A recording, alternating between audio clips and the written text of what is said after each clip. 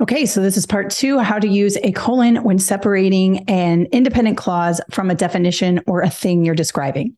The next way is doing an independent clause and then a definition or an explanation of the thing you're talking about. Let's have a look here. During the department meeting, and here comes the independent clause, the science teachers decided to work on the most important thing student achievement. Notice I have an independent clause here. The science teachers decided to work on the most important thing. Then I have a colon. Then I have the thing I'm talking about student achievement.